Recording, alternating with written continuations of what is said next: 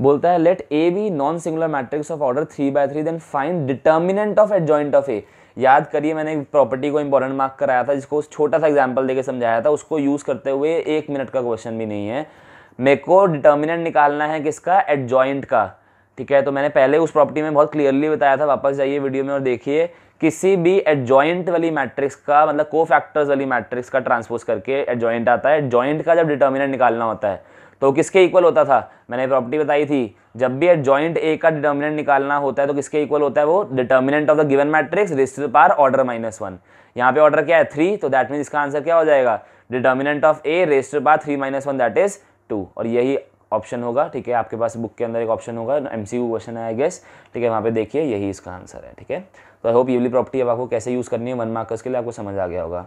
Last question of this lecture of this exercise ठीक है? Question number eighteen if A is an invertible matrix मतलब inverse exist करता है of order two then find determinant of A inverse ठीक है? अब इसके बहुत तरह के सॉल्यूशन पॉसिबल हैं, ठीक है? आप अलग अलग तरह का एग्ज़ाम्पल ले लेंगे, एक तो भी आंसर आएगा बट मेरे हिसाब से the best possible answer is, देखिए, कैसे लिखना है, देखिए आपको क्या निकालना है? Determinant of A inverse. A inverse जो आता है, जो मैट्रिक्स आती है, ए इनवर्स वाली, उसका डिटर्मिनेंट निकालना है, ठीक है? तो क्या करना है, देखो, कैसे करा मैंने।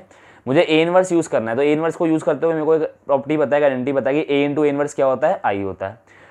अब मुझे उसका क्या चाहिए? डिटर्मिनेंट चाहिए। तो मैंने क्या करा? Taking determinant both side. तो दिस इज़ पॉसिबल आप ये भी इसको एज रिज़ल्ट याद कर सकते हो, डिटर्मिनेंट दोनों साइड पर ले सकते हैं इक्वेशन का।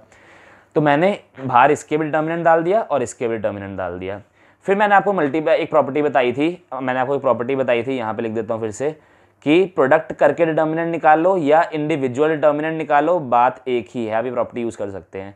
तो मैंने यहाँ पे यही करा इंडिविजुअल डिटर्मिनेंट को कर दिया। तो determinant of A into determinant of A inverse is equal to determinant of I और ये प्लीज़ आप खुद चेक करिए कोई भी आइडेंटिटी मैट्रिक्स लीजिए और इसका डिटर्मिनेंट करिए वो आंसर हमेशा क्या आएगा? वन आएगा। तो ये एज अ रिज़ल्ट आप फिर से याद करेंगे इस क्वेश्चन में determinant of identity matrix is always one ठीक है?